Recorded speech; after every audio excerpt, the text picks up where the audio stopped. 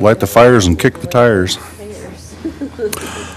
All right, everybody, good morning. I'd like to welcome everybody to our work session. This is our regularly scheduled work session for Monday, November 14th.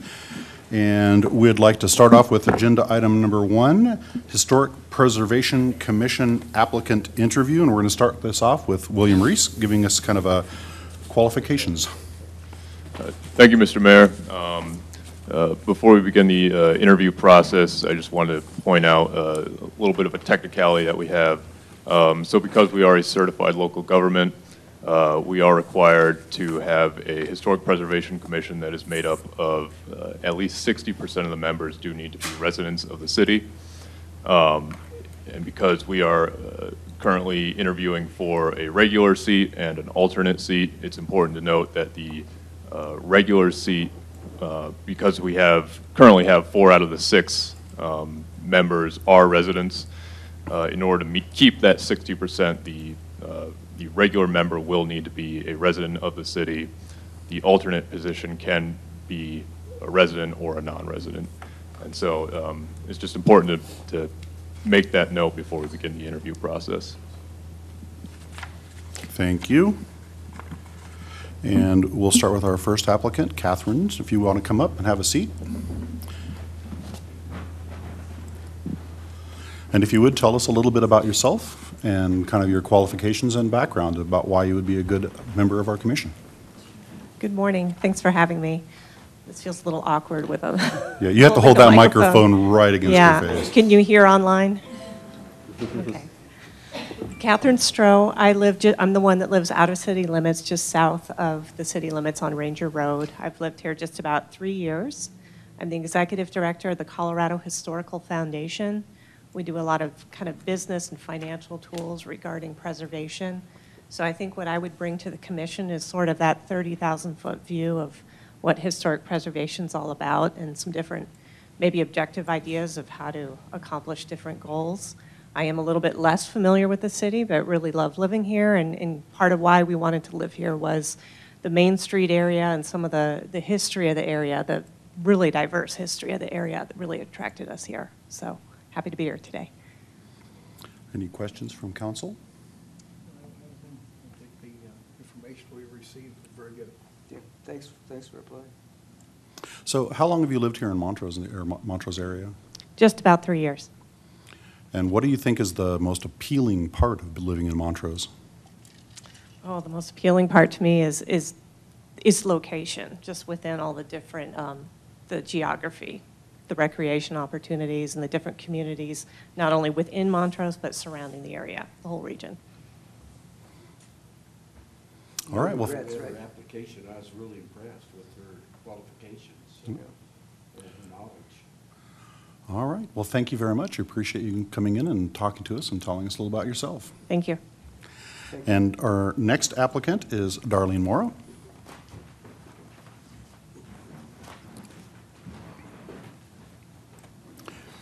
Good morning, Darlene. If you would, tell us a little bit about yourself and some of your qualifications for why you'd be a good applicant for the Historic Commission. Okay, good morning, and thank you for having me here. Um, well, I'm Darlene Mora, and I am a native, uh, bilingual, bicultural. Um, I have lived in Montrose all of my life, um, North 9th uh, Street. I think it should be named after me. Just joking, but anyway, um, I became interested in uh, just preserving uh, Montrose history, and because I am um, native here. I just would like to help the city and the council and anyone else that is needing my assistance to, to work together. Any questions? So what particular thing do you think you would bring to the council for the- the uh, Preservation Commission? My history here in Montrose, I know a lot about Montrose, and I know a lot about the north end of town and the city itself. Um, Like I said, I was born and raised here, and I can tell stories all the way back from Morgan Elementary and Johnson Elementary School, where it was McDonald's that one time. So if anybody knows that, probably Ed. Um, I went have a lot of history. I know a lot about Montrose. Very good. Any other questions? Thank you. Appreciate you giving us your time. Thank you for your time. Thank you.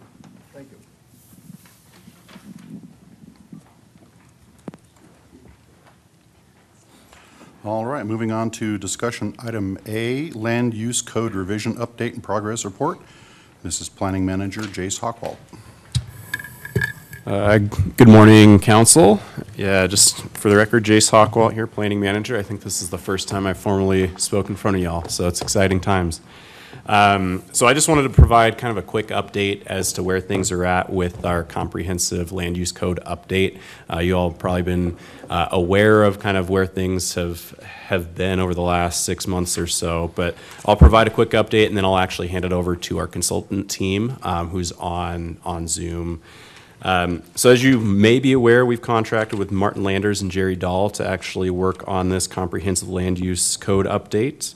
Uh, Yeah, like I said, both Martin and Jerry will give more detailed update here, but I really wanted to discuss the approach that we've been taking over the last couple of months, particularly since I jumped on board with the city.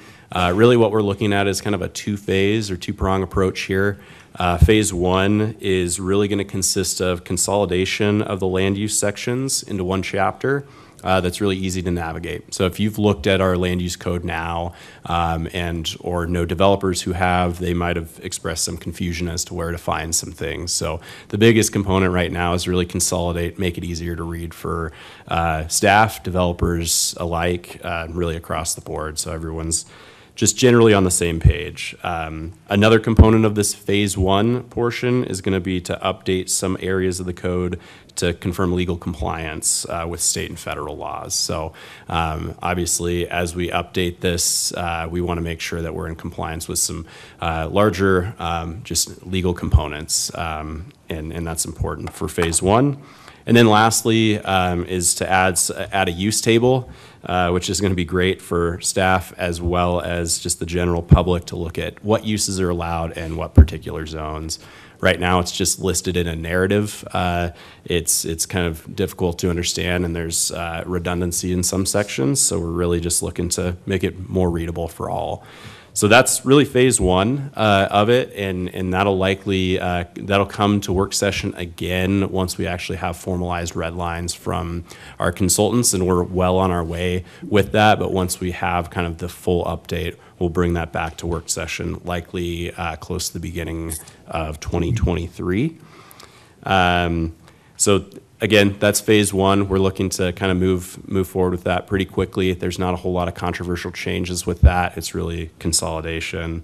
Um, Following phase one, though, um, which again, we're, we're looking to, to probably finish up and have to council and finalize for hearings in sometime in the spring of '23, uh, probably early spring. We'll actually dive into phase two of this code update. Uh, This is going to focus on some more substantial changes uh, within the code to really align it with the city's comprehensive plan. So as you're all aware, the comprehensive plan was recently passed. um, in the not, not too distant past there. And we just want to make sure that the code is actually reflective of that comprehensive plan. There's some components right now that, that aren't, that we'll certainly be looking at, um, particularly as it pertains to zoning districts, uh, plan development standards, uh, and, and some other things. So as we get uh, closer along to phase two, we'll certainly bring these kind of uh, these these hotter button items to you in work session format. Um, obviously, we will look for direction from City Council at the end of the day as to what we want to see. Uh, we just I just want to keep you in the loop now as to how we're viewing this um, from a kind of phase one, phase two standpoint. So that's the general process uh, city staff and the consultant team is taking right now. So you'll see this, this phase one consolidation uh, come to you pretty soon. And then phase two will, will likely be kind of closer to mid-year next year as we look into some things. And we'll certainly get a lot more public involvement uh, with phase two as we look at some of the real substantial changes to the code. So uh, and that's another component. So we're going through a housing needs assessment, as you're all aware now, um, and we, we really wanted the data from that housing needs assessment to really kind of guide how we're looking at the phase two component, how we're looking at you know potential changes to zoning and, and some other components, certainly as it pertains to housing, which we all know is uh, is is a hot topic these days. Um, and certainly me moving to the community, I'm I'm more than familiar with that as well. So uh, that's that's a big piece. And we're well. expecting the results of that in April? I believe that'll be spring, um, so it'll, it'll likely be, yeah, I, I would say March, closer to March is what the consultant team has, um, has reflected to me at this point. So, with that, um, unless staff has any more to add, I can go ahead and just turn it over to uh, Martin Landers and Jerry Dahl, who are online here, and they can uh, give us their, their feedback and process moving forward. Well, thanks, Jace. Um, c- First of all, I want to make sure everybody can hear me Yes, Yep. and uh, that I'm sharing my screen. yes. Correct, yep. All right, thank you, thank you. I always want to make sure of those two things right off the bat. Uh, I'm Martin Landers uh, with Plan Tools, and with me today is uh, Jerry Dahl uh, with NDBR. And uh, we're working together uh, with staff on uh, preparing a new unified development code for the city. Um, I know we last met uh, back in May, and uh, since that time, uh, of course, there's been a number of things that we've been working on. Uh, What I'd like to do first is kind of give you a little bit of refresher about the project objectives and, and then move into some of the things that we've been doing since May.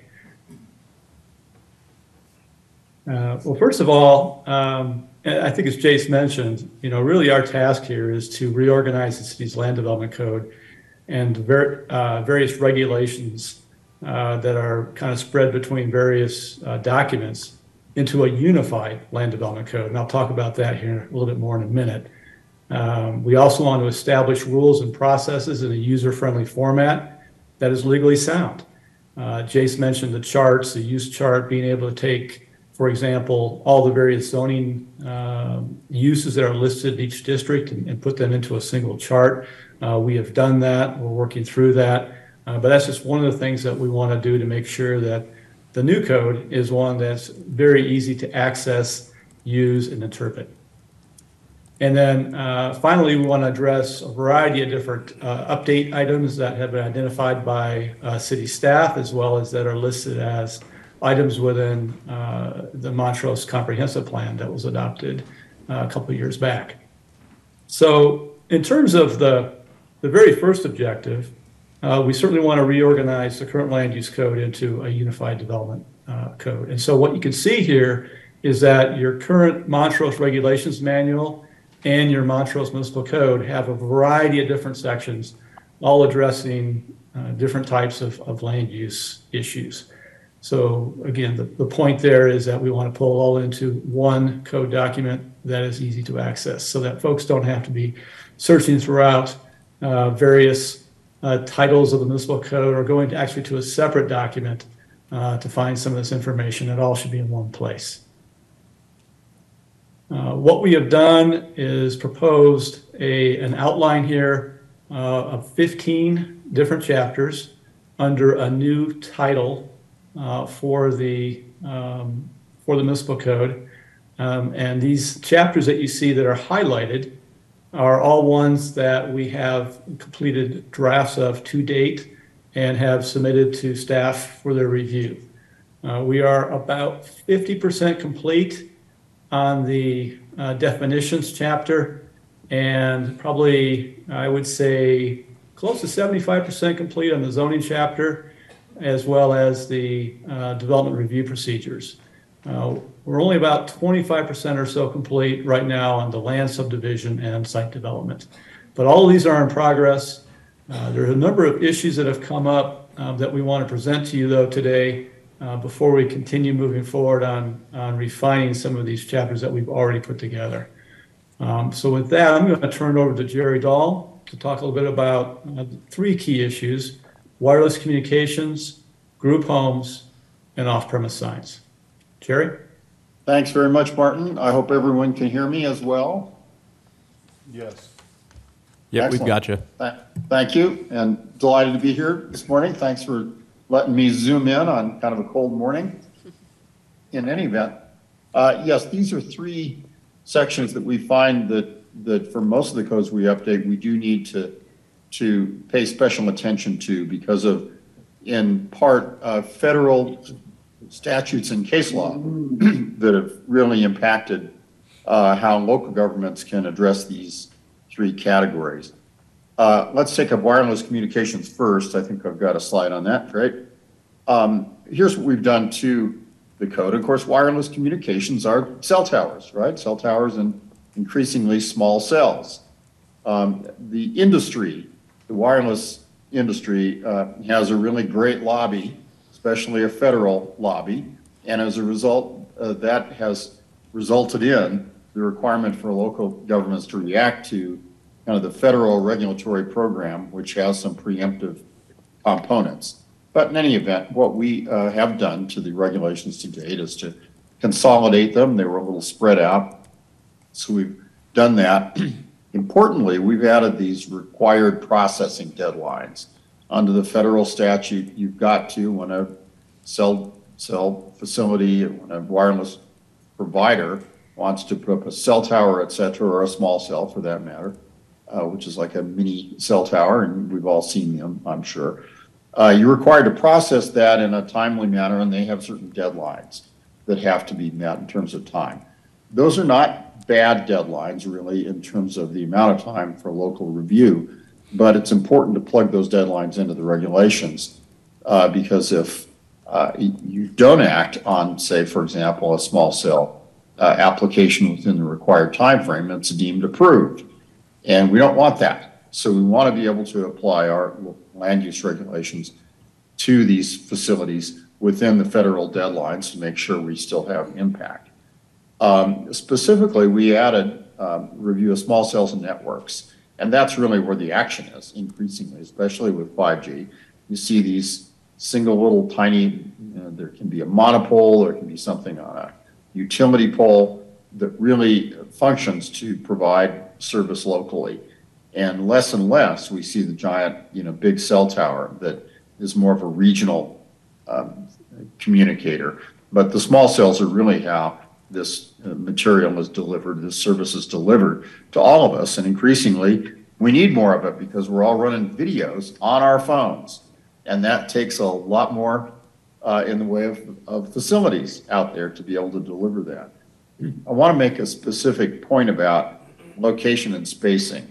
Uh, This is something that's come up because of uh, the law, which requires that small cells are uh, uses by right on public rights of way. And so we've seen these crop up mid-block, and we've seen them crop up in front of people's homes in the right of way, which is really disturbing to people.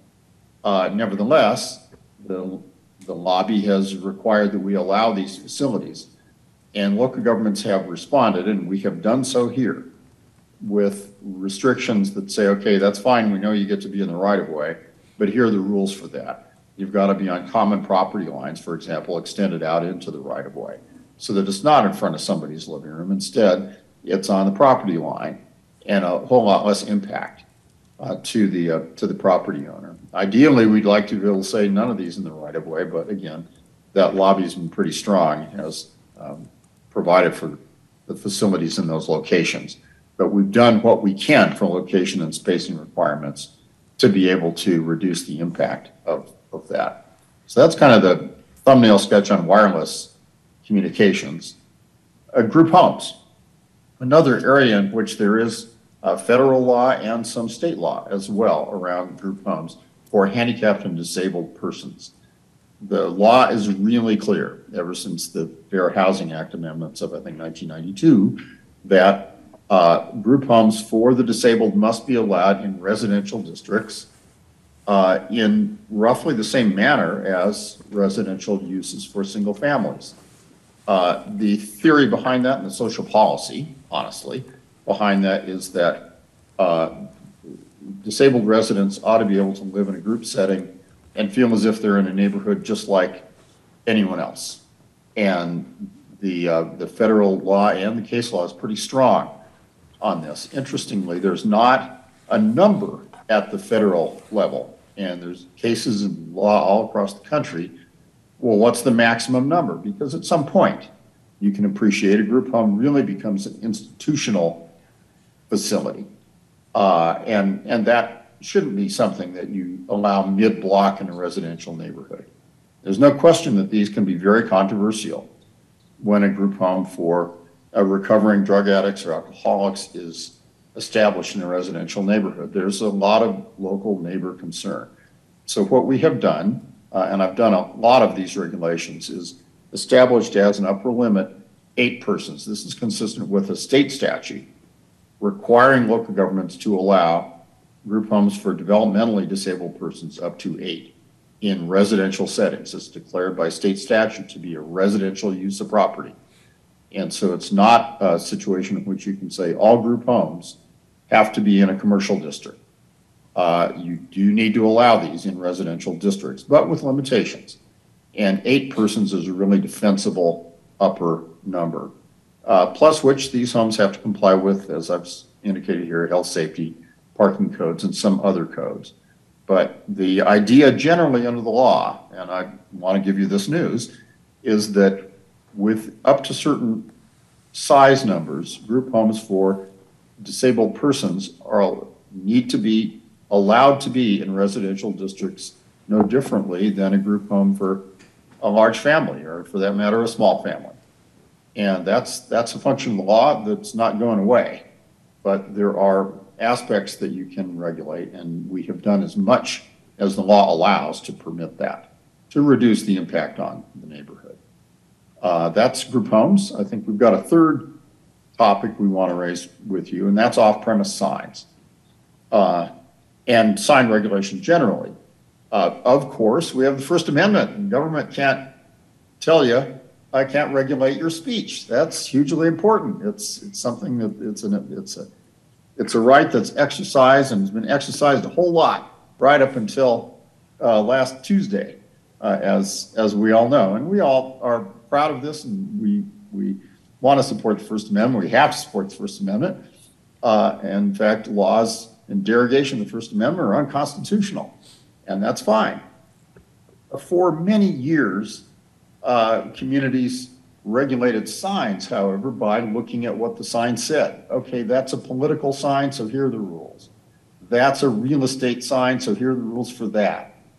Well, uh, in 2015, the Supreme Court, in a unanimous decision in this Reed versus Town of Gilbert case, said, well, now, wait a minute. If you have to read the sign to know how to regulate it, you're regulating speech. And you can't do that under the First Amendment unless there's a compelling governmental interest and there's no other way of, of regulating that. And that's a really high bar that that's very impossible to, to overcome. And so we have scrubbed all of the content related regulations out of the sign code and relied instead upon sign types. If it's a wall sign or a roof sign or a yard sign, you don't have to know what's on the sign, do you? to be able to say it's a roof sign and therefore here are the rules for a roof sign or here are the rules for a projecting sign. Uh, and that has worked really well and communities across the country have embraced that approach and actually made it, I think, easier. At first we thought the sky was going to fall because it changed how we regulated signs for years, but we have found that it really is, is workable. Um, with one exception, and that's off-premise signs. Because how do you, you know, the only way to typically, municipalities especially, would prohibit the use of off-premise signs. Uh, so a sign uh, advertising my auto uh, repair business uh, on someone else's property downtown, but advertising the business uh, outside of town or really anywhere else in town besides that property. Uh, municipalities have typically wanted to prohibit that. How do you do that? without reading the sign. So we came up with a bunch of kind of awkward workarounds that didn't work very well. But more recently, there was a, a, a case that made its way to the court in out of the city of Austin, and the court actually allowed and language to support the regulation of off-premise signs and the ability to prohibit off-premise signs by looking at what that sign actually advertises goods and services not provided on the property on which the sign is located. And so we've, we imported language right from the Supreme Court decision to be able to be as defensive as possible, to allow that one exception really to the, you can't read the sign to know how to regulate it rule. In other cases, we've, for everything else, we've put together the, the sign type approach, which is really pretty intuitive, and I think people prefer it, frankly, to the, uh, to the prior uh, approach. So we've added that definition. Also, interestingly, in the existing code, there was an exception for this collective identification signs for churches and service clubs. And of course, you have to read the sign to know, don't you, that it's that kind of sign. That's a First Amendment violation. And you'll be interested to hear it was this kind of sign in the Reed versus Gilbert case, which is a suburb of Phoenix, Arizona, that, that generated that case. So that caught my attention. We removed that. We have uh, put together a vigorous uh, and strong sign code regulation that is now consistent with this uh, federal case law. So that's my thumbnail sketch of that third uh, issue. And you will see all these, these forms of regulation appearing in the draft code that, that we're, we're working on. Martin? Yeah, thank you, Jerry. Um, So yes, all the documents that we have been working on and the ones that I noted that have been completed, there are 10 of them now, 10 different chapters of the 15-chapter Unified Development Code are now available for public review on the project website. And the website itself uh, has a link uh, on the city's website. So if you go to the city's website, you can find this project website. So in addition to being able to review these different documents, uh, individuals that um, have any questions or concerns uh, can contact us. And we have a form for doing that here. So that's just one additional way that we can get people to um, contact us or let us know if they have any concerns or issues associated with the work that we're doing while it's in progress. Uh, I should note that one of the additional things that we're planning to do is to have a public open house event once all the draft uh, code chapters are completed. And that would probably fall in spring, as Jace or Josh, Jace was noting. Uh, in terms of our schedule, uh, you know, we've gone through the, the whole code diagnosis phase of this project. We completed that. We've obviously now working through the various updates to different chapters. We anticipate having all 15 chapters now completed by the end of the year. And as, as Jace mentioned, we're to be moving into the, the code adoption phase in January when we're going to have an additional uh, city council work session to go through any additional issues or, or items regarding the, the code we're preparing. Uh, those draft documents um, are all being prepared in redline form so that you can see the changes that are being made from the existing code. And this whole process of adoption involves uh, work sessions with uh, the city council, uh, going to uh, the planning commission, showing them what these documents um, are all about, um, having this additional opportunity for public review and a public open house event, and then moving forward through the hearing process. So again, we anticipate being completed with this phase of the project um, by the spring of of next year. So with that, um, I know that, uh, I think we've used our, uh, come close anyways to using our allotted time today. Um, So if there's any questions that you might have or, or comments that you have, we'd, we'd be delighted to hear them at this point.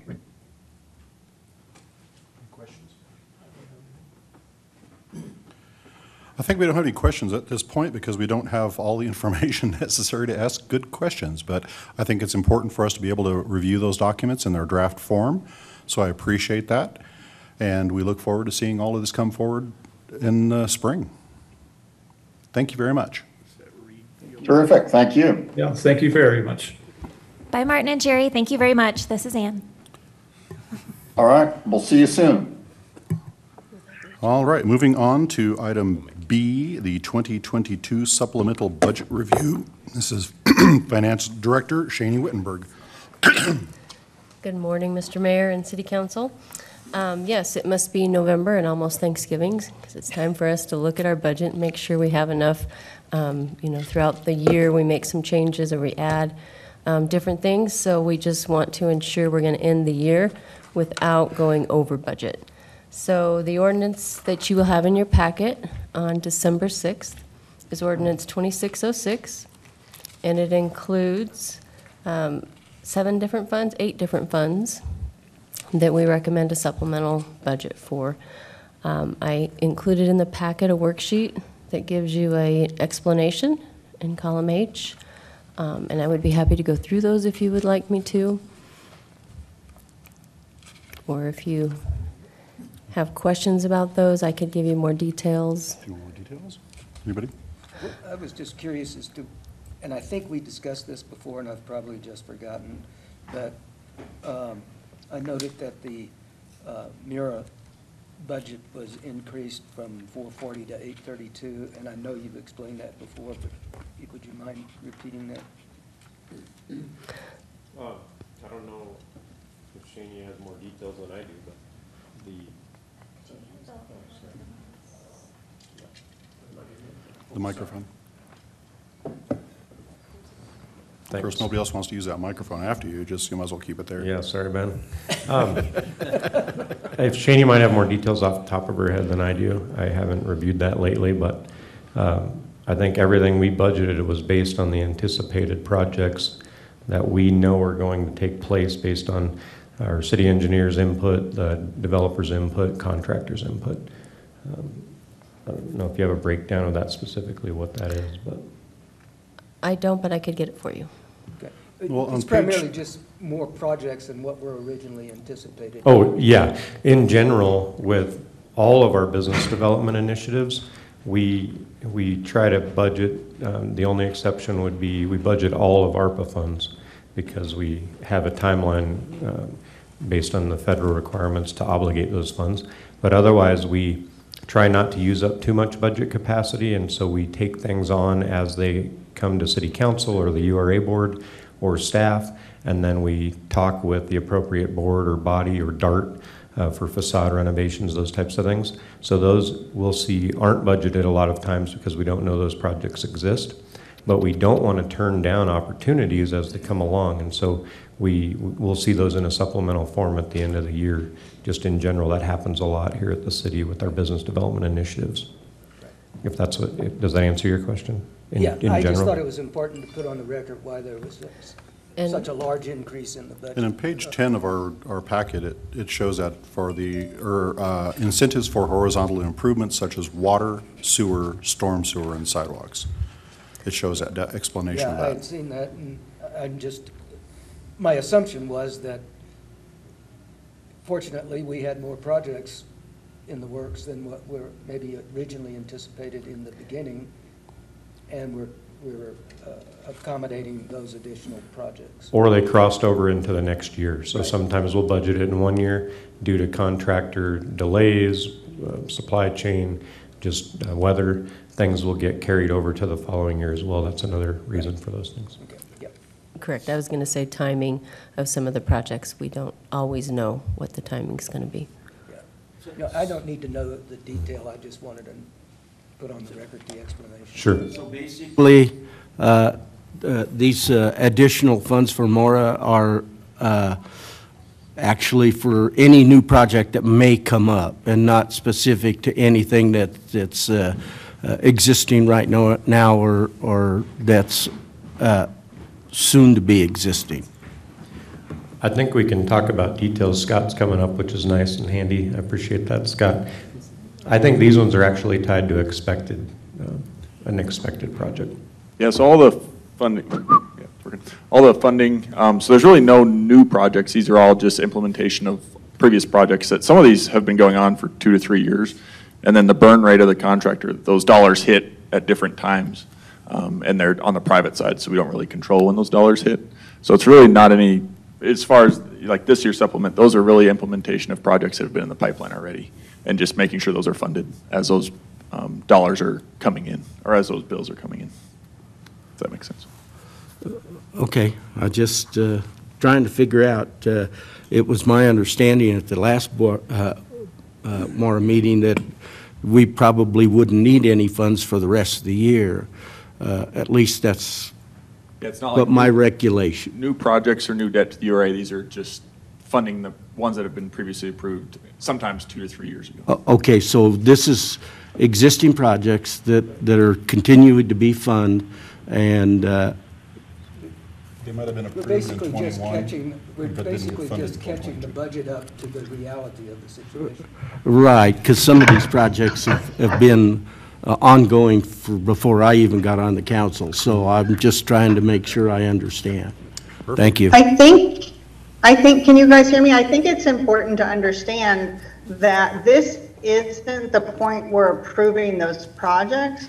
The, we already approved those projects. This is simply approving the supplemental budget. So we did review those projects and agree to spend that money. Thanks, That's Barbara. And your, your feed is lagging, so, just so you're aware. Your bandwidth must be, Yeah. mud bandwidth must be low. I have really, yeah, my, my internet isn't great. Perfect. All right, any other questions or comments about the item about the supplemental budget?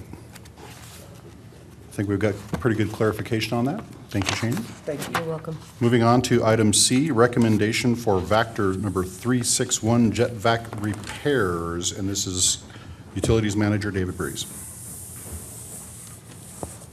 Get the mic over here close enough. Uh, Again, this is um, basically to give you guys a heads up and that we will be having some, that we'll be having some um, major repairs on our, one of our Vactors. Um, Back in September, uh, we had one of the blowers, which is basically what powers the vacuum part of that jet vac system, that it had a catastrophic failure. And, and so we um, took it up to Va- uh, Faris Equipment, or Faris Machinery, which is the representative that um, services our Vactors. And they've been working on cost estimates and, and repairs and stuff, and have come up with the cost of about $100,000 to fix it. So this Vactor's also in the process of being replaced. Um, Last year, or this year, in this year's budget was a replacement for this Vactor. We just missed it by a year on having a functional Vactor to sell. So we looked at, you know, what would be the impact if we said, let's just not fix it and sell it like it is. Well, from the um, information from the vendors and stuff, it's basically scrap metal at that point. Um, Because of the, all the specialization and stuff, it would cost somebody more money to remove all of the equipment to repurpose that truck um, for something else than buying a junk, that more junked out, stripped out truck already. So, and then if, once we fix it, we believe there's a resale value about hundred and fifty thousand dollars.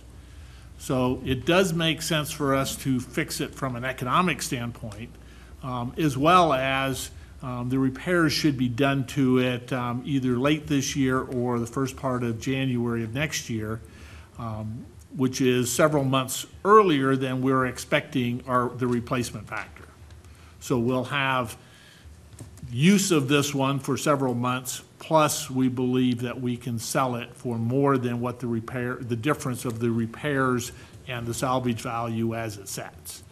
Um, So our recommendation is that we um, move forward with the repairs and at, at about $105,000. um, And then we'll be bringing that back for formal approval um, here in two weeks. So David, do you think, and I'm going to kind of include Mr. Scheid in this as well, uh, you've done a lot of thought about this, and you feel that we're going to get enough use out of that remaining six weeks or, or whatever period, it says, says six weeks in the document. You feel that that value is high enough to really kind of rationalize and validate the repair on this? Yeah, I think the combination of the resale value, because we will resell this um, once our new Vactor comes in, plus that additional six, six weeks warrants that repair and gives us that best value. And there is a market for, Oh, yeah, yeah. And the estimated arrival of our new Vactor is in you know, April, May, but that is estimated, and what we have seen recently is that that's unreliable, and I definitely wouldn't guarantee we have a new Vactor by April. Um, It could be the following April at this point. We've had some, we've seen some major delays in equipment and vehicles, and so even though it's projected for um, springtime, that's definitely not guaranteed. Really, until it's here, we don't know when we'll get it. Do you feel that this repair work will take us through a long enough period that the truck will still be in good shape to be sellable when we do get the new piece of equipment? Yeah, yeah, for sure. It'll be better than it was prior to this happening. Uh, I know in uh, previous years, uh, the, some municipalities have actually uh, used their vacuum trucks to help rescue people that perhaps may have been trapped in trenches and stuff like that. And if I'm not mistaken, at one time, I believe the city had some kind of a, uh, an agreement that in case uh, something like that were to happen, that they could be called up to help uh, uh, rescue uh, somebody that was trapped in a trench. Because I know sometimes uh, driving around town, I see some of these trenches that are fairly deep, that are more than five feet, that, that don't have the proper shoring on them. So uh, I think that uh, as a benefit to the community, uh, that uh, if we were to continue that, uh, I think that uh, it, it's money well spent to save just one person that may be trapped in a, in a trench. Yeah, and we've, we've actually done some um, tre- trench rescue training with the fire department, um, and they're aware of the equipment. Oftentimes, depending on the stability of the ground around there, the additional vibration from the, the truck and stuff raises concerns for them. But again, that would be some of their decisions, their, their call to make, you know, um, we would make that equipment available or as well as operators. And whether that was a, the safest and be- most effective piece of equipment to use for that would ultimately fall on their shoulders. But it's a moot point if we're- we don't don't have one with a a- working system, so. Yeah. Yeah. And I think they're actually a good emergency response vehicle in lots of ways, maybe not only trench safety, but um, plugged culverts, plugged sewer. I mean, there's a lot of emergency response that piece of equipment is very specialized for. Very good. Are there any other questions? Barbara, anything?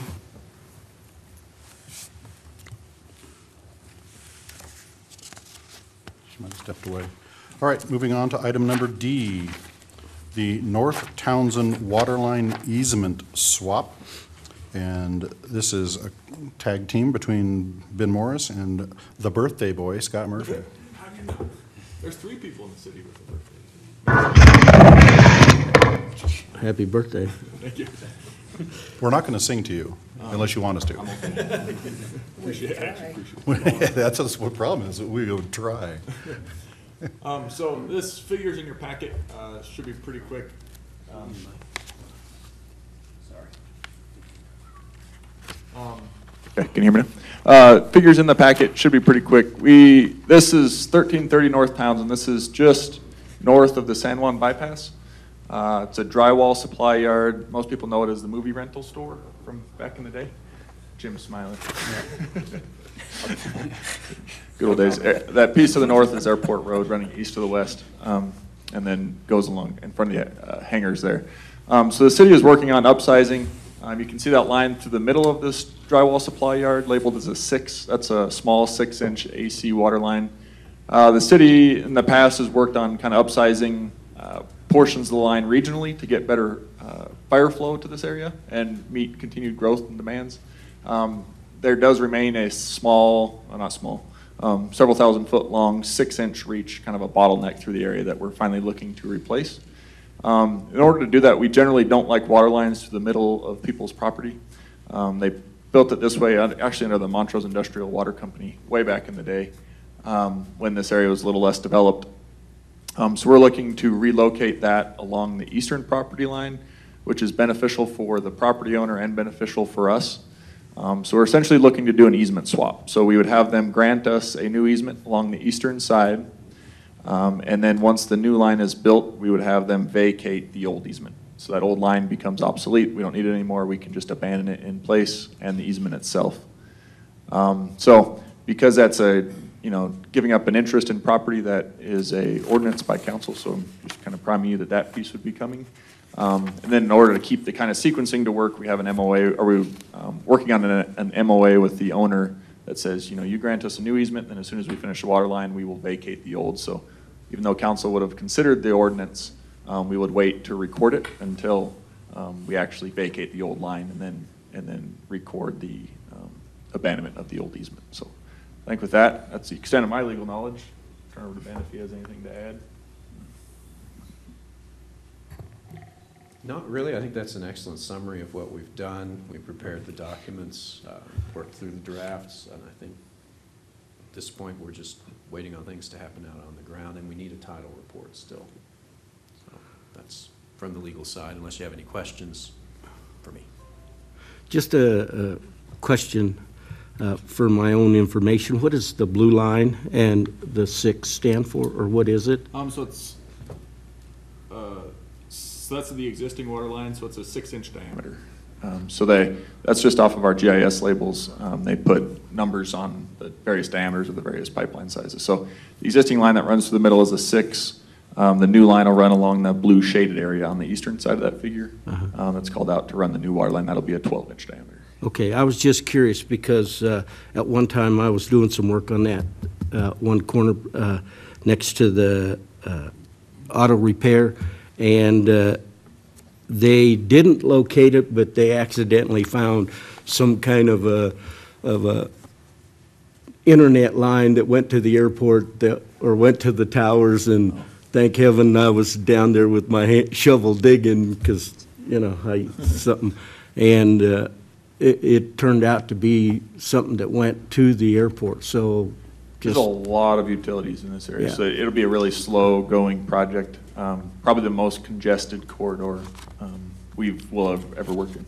Um, We're doing it in-house. So it's something you would need, oh, I don't know, a Vactor truck for? yeah, they didn't, they didn't locate it, that's why. Yeah, uh, yeah, there's, it's a, there's a lot that runs down that airport road corridor, because it's really, nobody wants to go in Townsend, because it's really hard to get utilities in Townsend, so everybody went to the, just like us, Yep. to the uh, first opportunity on the back. Um, Perfect. Any other Thank you. questions? I think one thing to add, there would be no compens, or we're proposing no compensation, I'm working that through with the owners, is the new is about the same bought area as the old, and it's beneficial to both, so. Perfect. Excellent. Any other questions? No? Barbara? Nope. All right, moving on to item number E, City Hall relocation project contract amendment recommendation. And Jim Scheid. Morning, council. Um, so yeah, this is for the phase two portion of the City Hall project, which is in the former Wells Fargo building on Main Street. We are currently working on phase one right now. Um, FCI Constructors is our CMGC on that project, and they are actively working, making great progress already. Um, it's actually really exciting to see how quickly it's moving along. Um, But this portion, what we're, um, what we're requesting today is the um, amount that's been included in the 2023 budget. And it's, we're here early, um, basically as early as we can be, knowing that um, we're approving, we're in the process of approving the 23 budget right now. Uh, But upon upon its approval, uh, we would like to be able to amend our contracts for our CMGC to continue moving along with the project. So uh, we don't want to lose any efficiencies in um, not having um, contracts in place for those contractors that are on site now. They're working on phase one and would like to be able to, as soon as possible, have uh, contracts in place for them to continue their work and move straight into phase two. Um, One is, we don't want to lose the efficiency of certain contractors um, leaving, waiting on contracts to be in place to return. Uh, We may not be able to get them to return. Um, And then also just for a completion timeline of, uh, still on that goal of, of February completion, uh, ready for um, relocation. And to make that happen, we need to get these contracts in place and keep our contractors rolling. So that's why we're here um, as early as we can be uh, for um, asking for the authorization of the 23 budgeted amount to include into our contract um, that we have in place now with, with FCI mainly. Um, This Phase Two includes um, other items as well. There was the FCI contract, which is the biggest portion of it. Um, But there's um, a handful of owner-provided items, um, as, it- like the asbestos abatement, which that's already complete, the roof replacement, which is actually starting this week. Uh, We got really lucky there, and our um, contractor we hired was able to get the installation, and um, they're on site this week. So that's a big win. But uh, furniture, things like that are provided by the, by us as the owner, and those are uh, also included in this um, Phase Two, or this uh, 23 budgeted amount. Um, So we're making good progress. I think it's been a very high-paced project. The CMGC process we're using has, has allowed for that. Um, We actually just completed our um, construction documents in uh, mid-October, Um, so that's uh, what we're able to work off of as far as um, actually performing the work. Um, And because of the process we use, we were able to um, start demo of the existing um, inside even prior to having those, those documents. So this process has been really, really good and has allowed for this quick pace that we're, that we're on. Does that change the occupancy schedule? No. Nice try. Good effort. No. Yeah, Uh, just for clarification for the public, we've already seen all this amounts, we've seen all of these uh, line item and and very detailed contract uh, and uh, construction documents, we've seen all of this. This is just because the pace of the project is moving very well and very quickly to make sure that we have that contract award in place early enough to make sure we keep that uh, accelerated pace of play. Yeah, it seems like we just talked about this because we did. It is, uh, was discussed as part of the 2023 budget. Um, And now we're asking for authorization to be able to use that budget. So it's kind of back to back right, right here in these last couple of months. But Keep it rolling. um, But yeah, we're trying to just keep it rolling and um, roll right into phase two. Um, And as part of this also, we are um, continuing work on the concept level design of the exterior facade of the building. And that would be a future phase three, we may call it. Um, But we are working on the concept of that. Um, Hopefully in the next couple months, we have a, a concept that we can discuss with you all. And um, with a concept drawing, we should be able to get a rough order of magnitude uh, of cost and uh, and open for discussion. But that's uh, something our design team is, is working on right now. But just for clarification of the record, Phase Three is also approved in the 2023 budget. No, I don't believe We- 23. We approved the facade in the 2023 budget. Um, we. No, I don't think we did. requested the accelerated process on it. But we, since we don't have any construction documents, we don't have a line item or an amount. It's not in the budget? It'll come before you as a supplemental. Supplemental, but okay. Yeah. okay. We But- didn't have enough uh, data yet. to- Right. but Yeah. there's- Yeah. Okay. Yeah, we, We're moving forward. yeah, but we're moving forward with creating those documents to give us that data, to give us numbers. Right. But we did request that it it Yeah, be kind and then of we should, and that's what we'll accelerated. be able to get off that concept level drawing, is just kind of an order of magnitude that we'd use as a budget, and then again, we'd bring that to you as a, um, a- as a recommendation or request, and, Right. and then potentially include that as in a twenty-three project, yep. All right. Any other questions? Barbara, anything? All right, very good. Moving on. General City Council discussion. Gentlemen? Barbara, anything? I don't, but I tried reconnecting to a different line. Any better on the connection? Yes, much better, Great. now that Okay. we're done.